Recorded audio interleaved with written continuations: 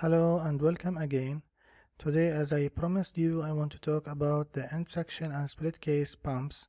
Which one is the better for uh, your project based on the performance and the efficiency and many aspects and characteristics of the pumps. So let's begin. So what is the end suction pump? End suction pump is a single suction pump having its suction nozzle on the opposite side of the casing from the stuffing box and having the face of the suction nozzle perpendicular to the longitudinal axis of the shaft, usually of the overhang hung impeller type in which the impeller is mounted on the end of the shaft which is overhang from the, its bearing supports. A single-end suction pumps are available as close-coupled in which the impeller is mounted directly on the motor shaft or separately coupled in which the impeller is mounted on a separate pump shaft supported by its own bearings. As we can see, this is the separately coupled pump and this is the end suction closed coupled pump. Here is a cross section in the end suction pump. Advantages of end suction pumps. The low initial cost for most scenarios. This is very attractive for the correct application. In addition, these pumps have a reputation for being fairly efficient considering the low price point. Second, both of these are thanks to the simple design of the pump. It does not use any valves, contains very few moving parts, and takes up very little space.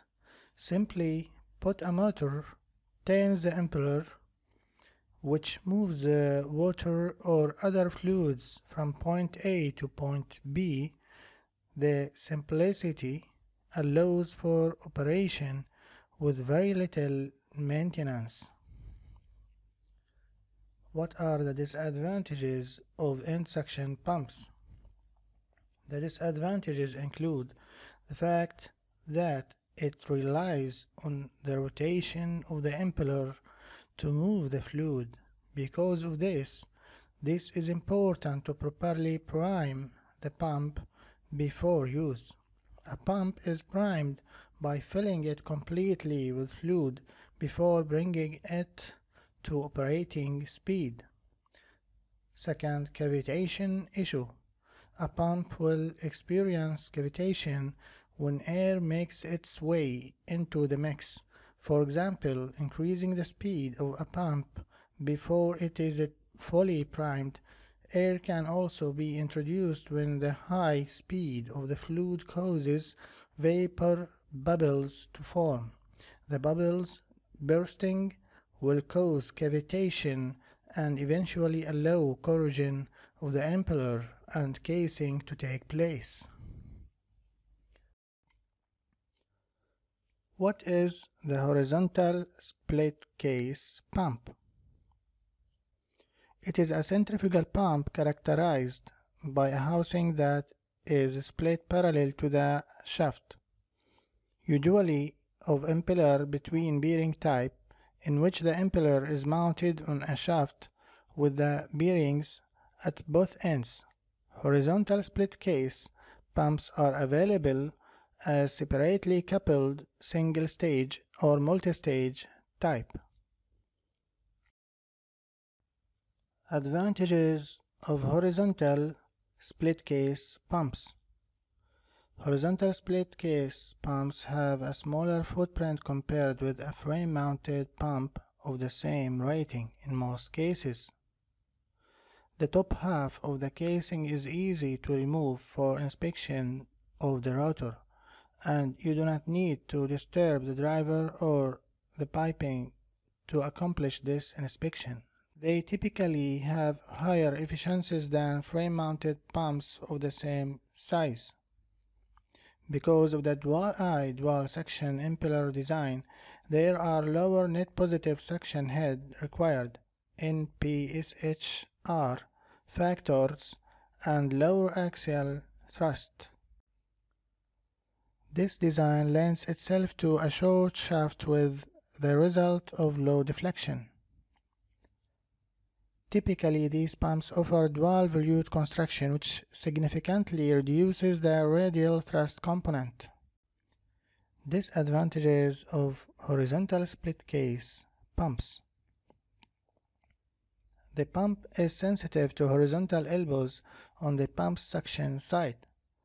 Fluid flow through the horizontal elbows induces asymmetrical pressures on the impeller that lead to shortened bearing and seal life. The casing does not lend itself to a confined gasket design, so there are consequential horsepower and pressure limits. Because the casing halves are truly not halves from the mass start point, the pump's upper and lower portions will expand and contract at different rates with temperature changes, leading to alignment, bearing life, and sealing issues. The pump can carry increased costs because it has two stuffing boxes, so two seals or sets of packing are required per pump.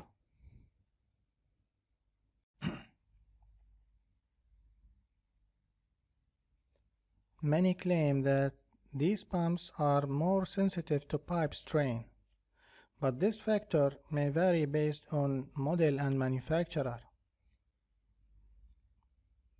While the dual suction impeller is a benefit from an NS, NPSHR aspect, the shaft running through the impeller reduces the effective eye area, creating problems with suction-specific speed factors and multiple issues with any departure from the best efficiency point BEP.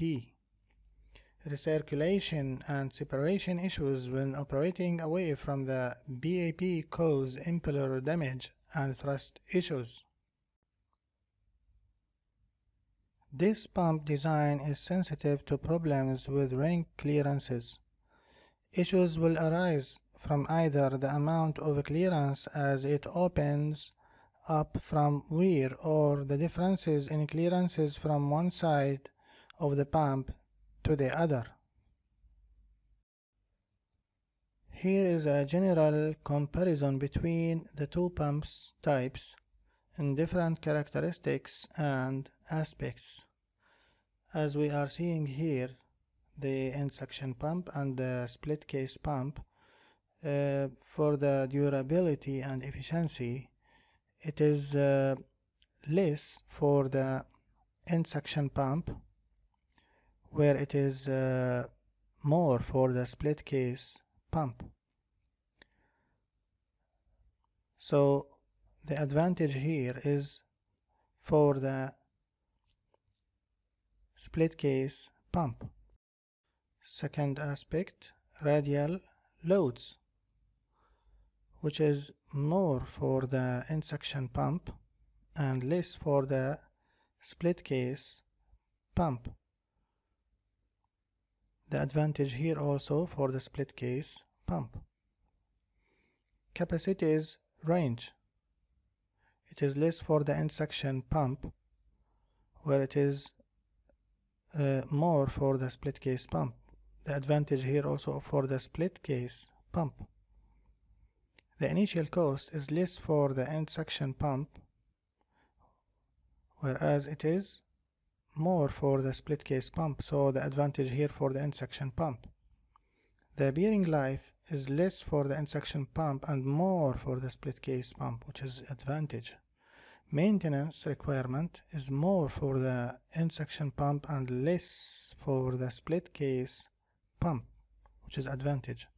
Last, space required the end suction pump require less space and which is advantage for the end suction pump where it is require more space for the split case pumps which is not advantage here.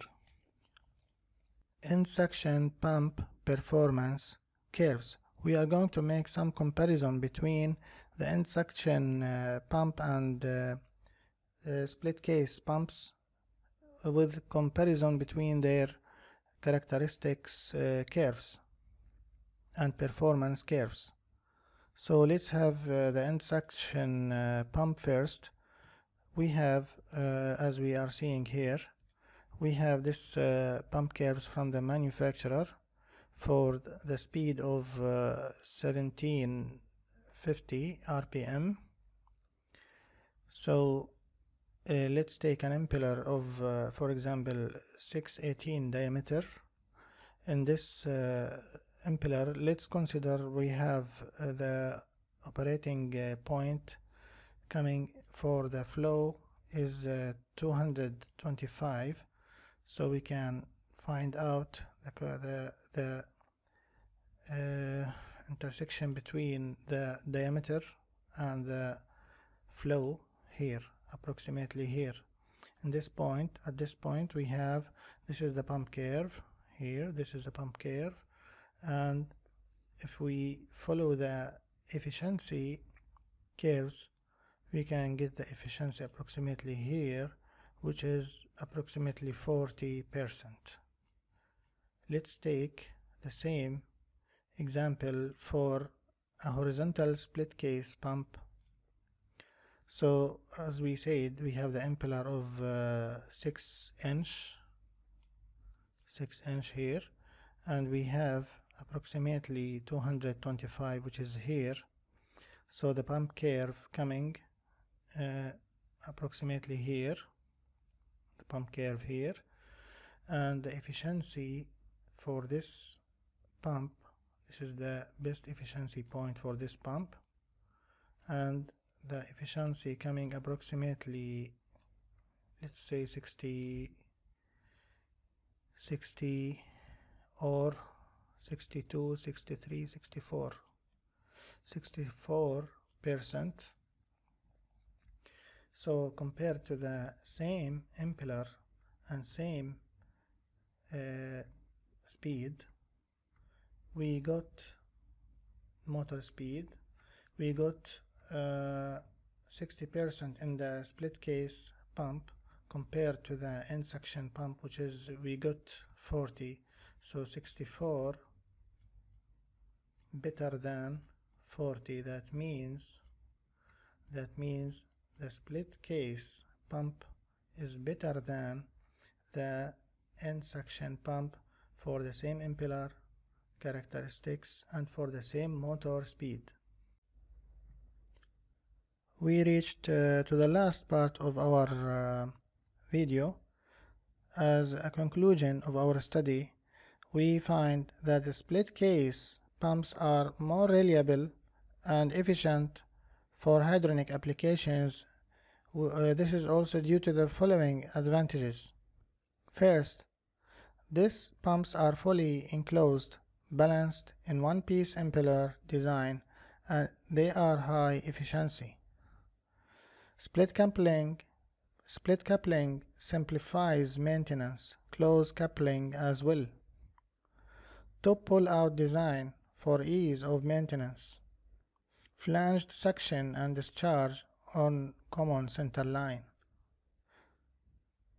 Coupling guard for protection during operation. Space-saving design allows for use in tight installations or modular packages and top pull-out design to simplify maintenance. If you have any comments, questions, please write them below, below the video. Kindly like and share and subscribe. Thank you for watching.